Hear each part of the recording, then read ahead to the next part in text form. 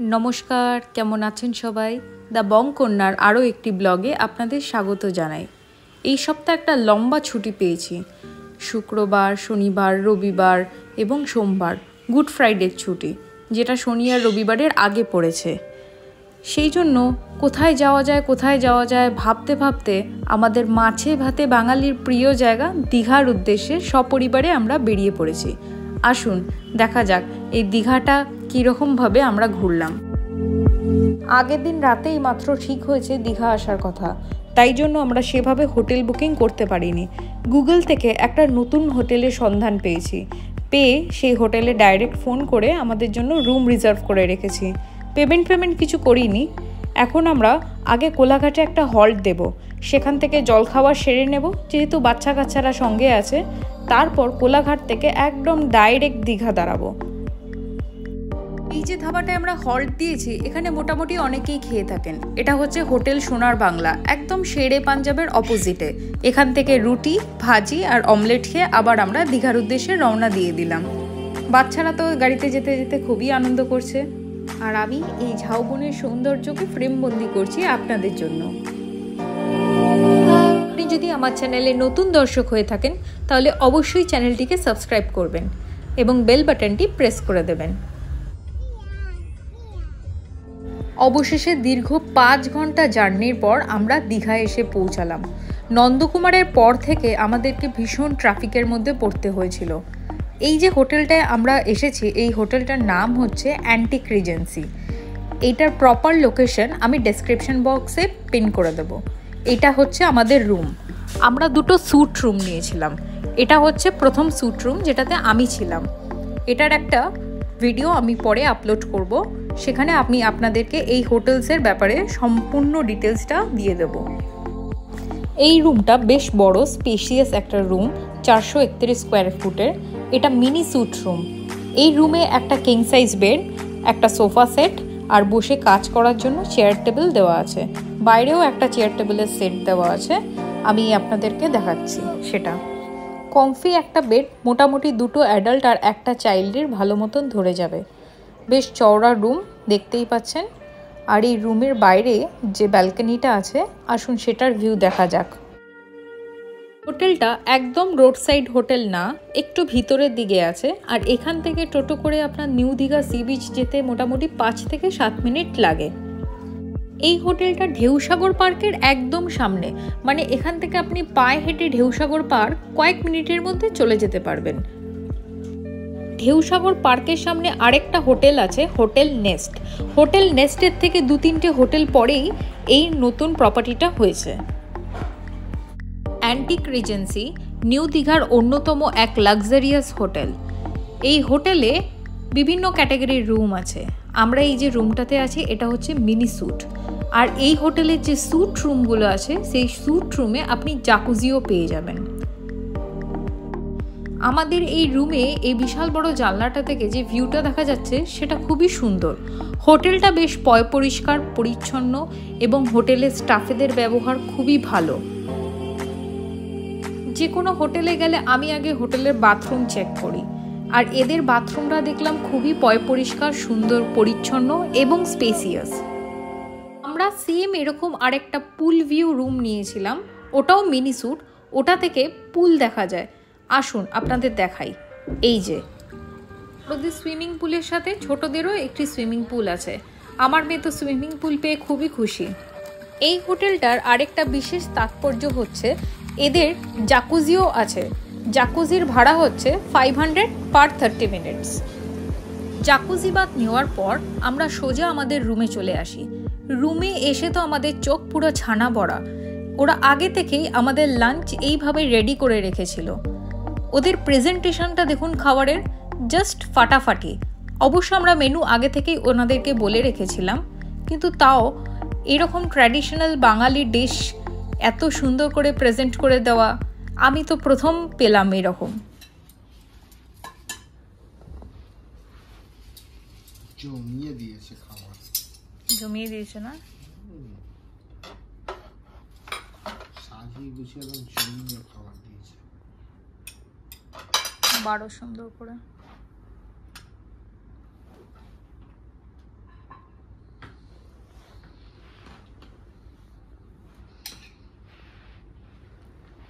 টেবিলে রাখার জায়গা নেই।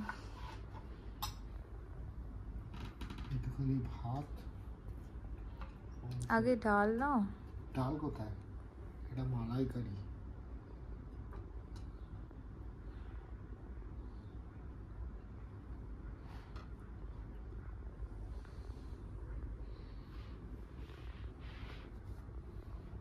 ঘি দিয়ে খাও। তুমি খাও না আমি একটু পরে খাচ্ছি।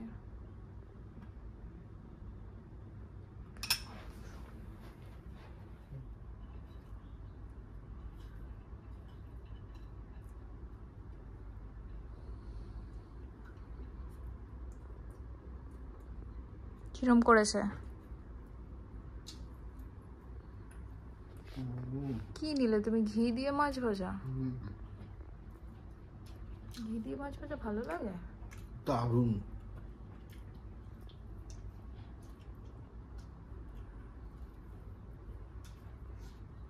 অসম খেতে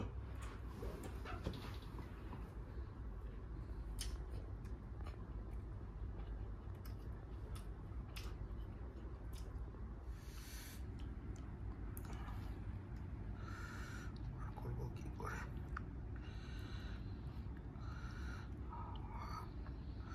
এই ডাবডার ভিতরে আসলে বড় বড় দুটো গলদা চিংড়ি দেওয়া আছে। যে কারণে প্রথমে একটু বের করতে চিংড়িগুলোকে আমাদেরকে বেশ বেগই পেতে হয়েছে। দুটো ধরে টানো দাও।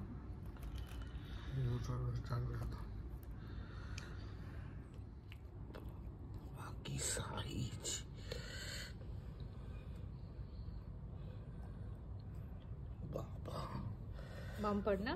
মাখন পুরো। চিংড়িগুলোর সাইজও কিন্তু বেশ বড় বড় এবং করেছিলও দারুণ। একদম ভিতরে ডাবের শ্বাস অবধি ছিল।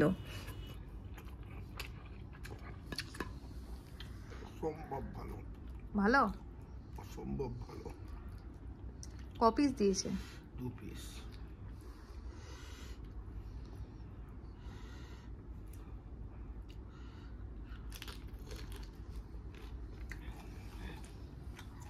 চিংড়ি সাইজটাও কিন্তু ভালো, বলো। এত জায়গায় বাঙালি খাবার খেয়েছি, কোথাও মনে হয় না এত সুন্দরভাবে প্রেজেন্টেবল এত সুন্দর প্রেজেন্টেশন টেস্ট না? সব দিক দিয়ে এক কথায় টপ আপাতত। আরে আস্তে আস্তে খাও, এখনও আরেকটা আছে। আর ওটা আমার। তুমি সামলাতে পারবে না। কি সামলাতে পারব না? বসো বসো বসে খাও। তুমি একবার উপর একবার নিচে। তারা ঠিকই বলেছে। ব্লগ শ্যুট করতে করতে আমিও আর লোভ সামলাতে পারলাম না। ফোন রেখে একেবারে হামলে পড়লাম খাওয়ারের দিকে। দুপুরের খাওয়ার সেরে একটু রেস্ট নিয়ে সন্ধেবেলা আমরা চলে এলাম নিউ দীঘা সি বিচে।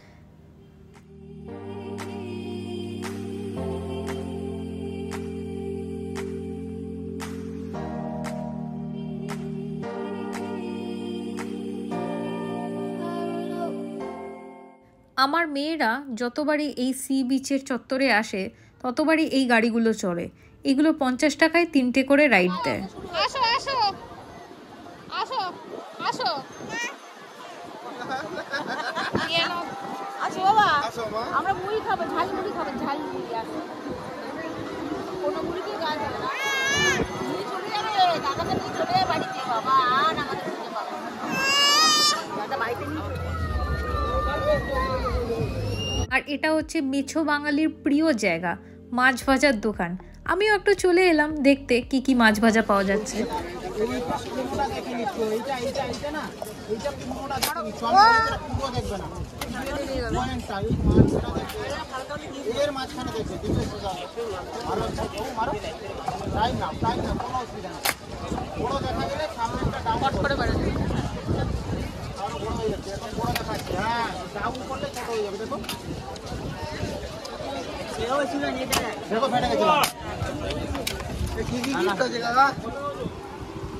সি বিচে ঘোরাঘুরি করে আমরা অবশেষে আবার ফিরে এলাম আমাদের হোটেলে। হোটেলে রাত্রিবেলাটা বেশ সুন্দর লাগছে দেখতে। চতুর্দিকে আলো জ্বলছে, এই যে এদিকে সুইমিং পুল, আর আমরা হাঁটতে হাঁটতে এখন চলে এসেছি বাচ্চাদের প্লে গ্রাউন্ডে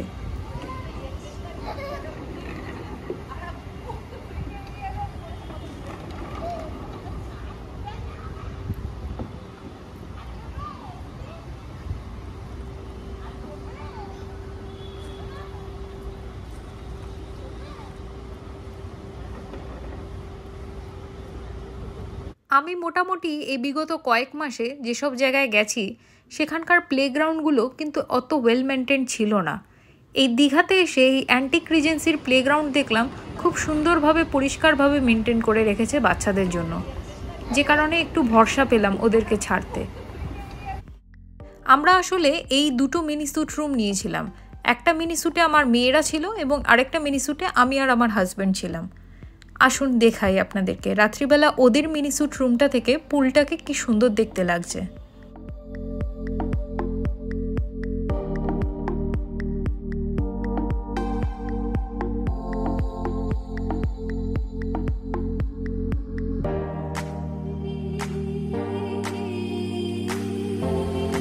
আমার ছোট মেয়েকে এই প্রথম আমি ট্যুরে নিয়ে এলাম। তাও ফার্স্ট টাইম সি বিচে দেখা যাক ওর রিয়াকশানটা কি থাকে সমুদ্রের জলে। আমরা এই মোটামুটি ভোরবেলা সাতটা সাড়ে সাতটা নাগাদ সি বিচে এসেছিলাম। তাও বেশ ভালোই রোদের তাপ ছিল।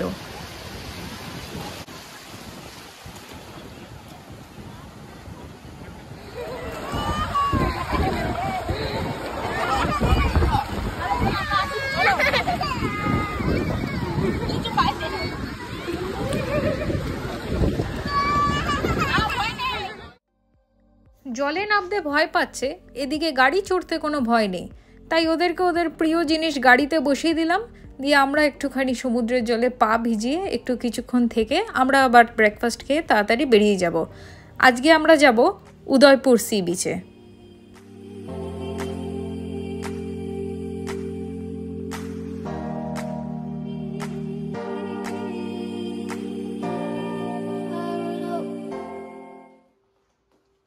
ব্রেকফাস্ট সেরে আমরা হোটেলের আরেকটা দিক আপনাদেরকে দেখাতে নিয়ে এলাম। চলুন এই দিকে অ্যান্টিক রিজেন্সির ইনডোর গেমস এবং জিম আছে।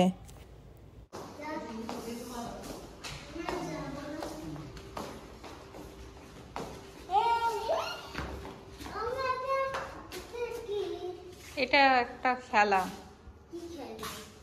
ওটা দেখিয়ে দেবো পরে। এটা হচ্ছে গল্ফ ওই বন্ধ ছিল ব্লিচিং পাউডার দিয়েছে মনে হয়।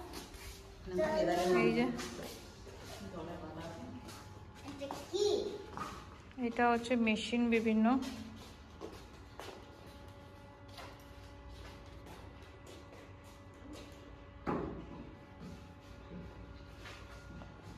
জিমটা মোটামুটি ভালোই।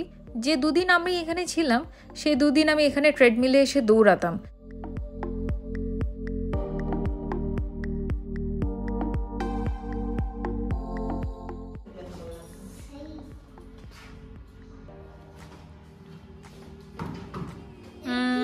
এটা ট্রেডমিল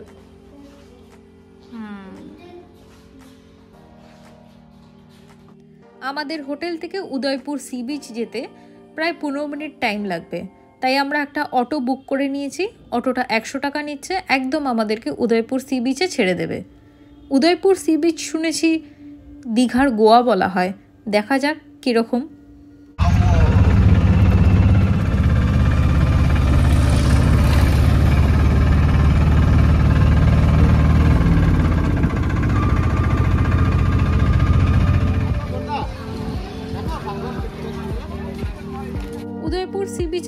এসেছি, কিন্তু এখানে আসতেই যেটা দেখলাম, এখানে বিভিন্ন হোটেল আলারা আপনার পিছনে পড়ে যাবে, তাদের জায়গায় গিয়ে বসে মাছ ভাজা খাওয়ার জন্য।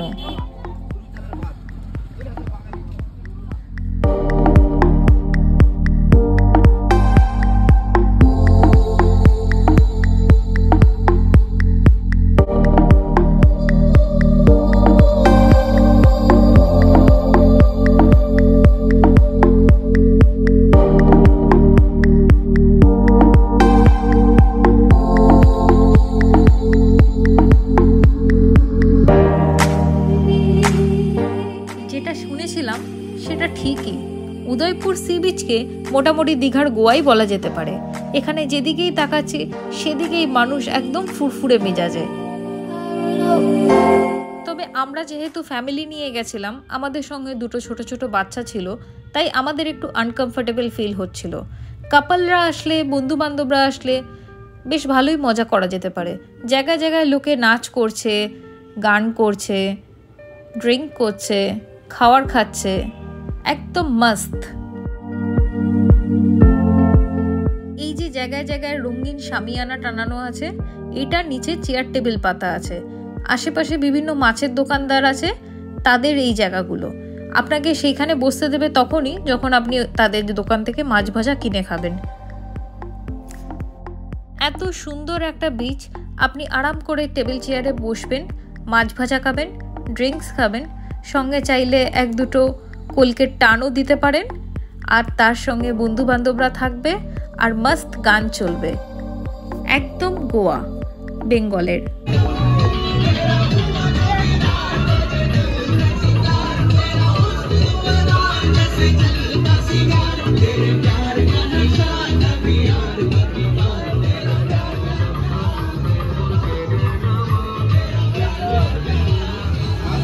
ওদের এইসব পরিবেশ ভালো লাগছে না এটা ইয়ং মানুষ। যারা বাচ্চা নিয়ে উদয়পুরে ট্রাভেল করবেন তাদেরকে আমি এই জায়গাটা সেরকম রিকমেন্ড করব না। আর না হলে আপনাদেরকেও আমার মতো এখানে এসে বসে স্প্রাইট আর চিপস খেয়ে চলে যেতে হবে। আমাদের প্রথমে প্ল্যান ছিল উদয়পুর সি বিচে কিছুক্ষণ সময় কাটিয়ে সেখান থেকে লাঞ্চ করে চলে আসার। উদয়পুরটাকে অনেকটা তাজপুরের মতোই ভেবেছিলাম। ভেবেছিলাম বিচ শ্যাক থাকবে, সেখানে বসে লাঞ্চ করে চলে আসব। কিন্তু গিয়ে যা দেখলাম শুধু মাছ ভাজা আর বিভিন্ন ধরনের ড্রিঙ্কস পাওয়া যাচ্ছে। তাই বাধ্য হয়ে হোটেলে চলে এলাম। হোটেলে এসে খাসির মাংস এবং পোলাও। অর্ডার করে জমিয়ে দুপুরের লাঞ্চ করলাম। কি এটা?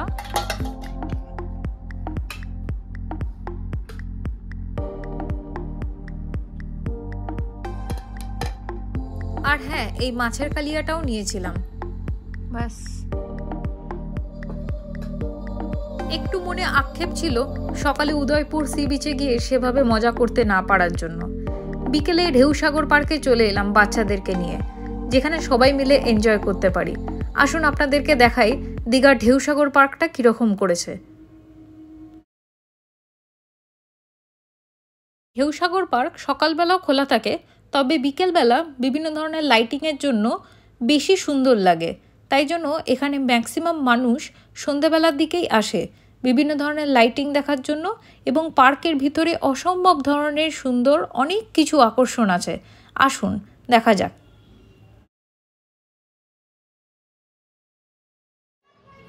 ভিউসাগর পার্কের ভিতরে এরম সুন্দর একটা প্লে জোন করেছে বাচ্চাদের জন্য। এখানে কয়েন দিয়ে দেওয়া হয়। তিরিশ টাকা করে কয়েন নেয়। ওই একটা কয়েনে আপনি যে কোনো একটা রাইড বা যে কোনো একটা করে গেম খেলতে পারবেন। ছোট ছোট বাচ্চাদের জন্য এরকম কিছু কিছু মিউজিক্যাল কার্স আছে।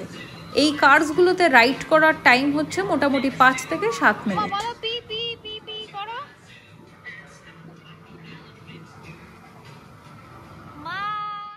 রাইডসগুলো বাচ্চাদের জন্য তাছাড়াও এখানে কিছু কিছু গেম আছে যেগুলো বড়রাও খেলতে পারে। আমরা মোটামুটি যারা কলকাতার দিকে থাকি বা প্রপার টাউন এরিয়াতে থাকি এই রকম কিড জোন মোটামুটি দেখাই যায়। কিন্তু দীঘাতে এসে প্রথমবার এরকম একটা কিড জোন দেখলাম, যেখানে বাচ্চারা অনেকটা সময় ধরে এঙ্গেজ রাখতে পারবে নিজেদেরকে। এই কিট জোনটাতে প্রত্যেকটা রাইড বা গেমের জন্য আপনাকে ওই কয়েনটা ইউজ করতে হবে, যেটা এখানে ঢোকার টাইমে আপনি তিরিশ টাকা দিয়ে পারচেস করবেন।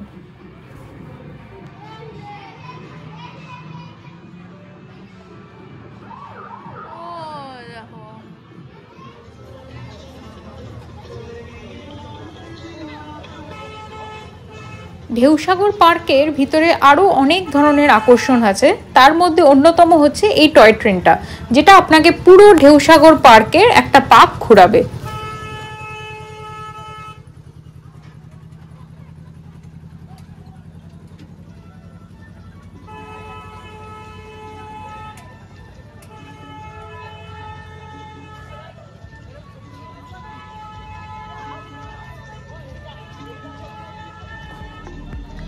ঢেউসাগর পার্ক খুবই পয় পরিষ্কার, পরিচ্ছন্ন, আলোয় ঝলমল করা একটা পার্ক।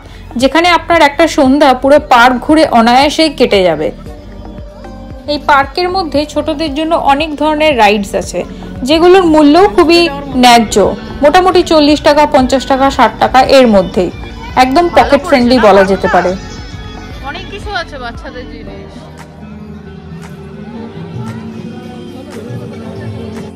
দেখা যাচ্ছে এটা হচ্ছে লাভার্স পয়েন্ট এখানে কাপলসরা দাঁড়িয়ে সেলফি তুলছিল। আর আমরা একটু এখান থেকে সোজা সামনের দিকে এগিয়ে যাব।